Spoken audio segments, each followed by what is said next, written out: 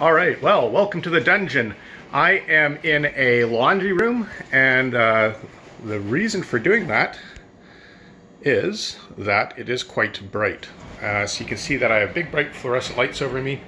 What I'm going to do uh, in this room is I'm going to test my robot uh, so, and see if it can locate a red VEX GameCube uh, using the vision sensor.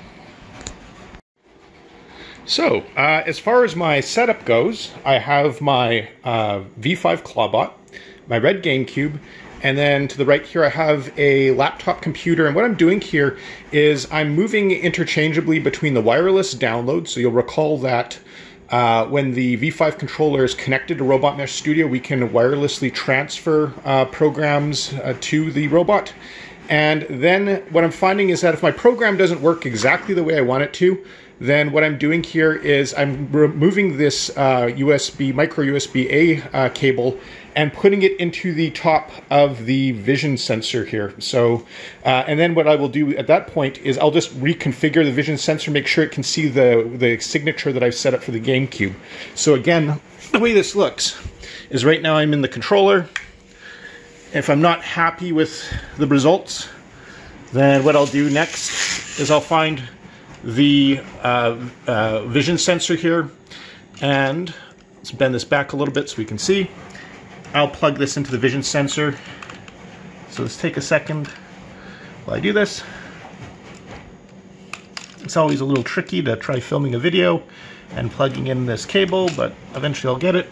Okay, so there we go. So now let's just say that I'm not happy with the vision sensor's ability to find the GameCube. Then what I've done here is I've um, connected the cable to the computer. So here now, I can go find my vision sensor. Uh, so you can see it's here on port 9. Click on configure vision sensor and we can see what this vision sensor is seeing. So it's going to take a second. Right now the camera is looking up, so that's not exactly what I want. So let's have this facing down so that's looking towards the claw. You can see now my view's changed a little bit. And as I rotate the robot, move it around, reorient it, what I want to do is I want to position the camera in such a way that I can see my cube. And now we can see here that it's finding the red cube, which I've set up as a signature here. And so I'm happy that the vision sensor is finding the GameCube. I'm going to disconnect this cable. So what I'll do here is I am just going to momentarily close out of here. I have my program. And now what I'm going to do is I'm going to pull the uh, cable out. I'm going to take the robot here and I'm going to put it in such a way that the robot is not facing the cube. So at least initially what will happen here is we're going to uh, uh, take a, a, snapshot here of the red cube. And if it finds the, the uh, cube, or at least one instance of it, then it's going to try and align with it. If it doesn't uh, find, whoops, if it, whoops, let's do that back again we'll just move that later. um, if it doesn't find the cube, then what it's going to do is it's going to turn left. And so this is a little tricky because, again, I'm trying to do this with the phone. So we can see the else condition here is that's, it's going to turn left. Okay, so let's give this a try. I'm just going to correct my code here. And uh, again, if you're not sure what the sample code for this looks like, take a look at the next slide uh, where I have a screenshot of this program.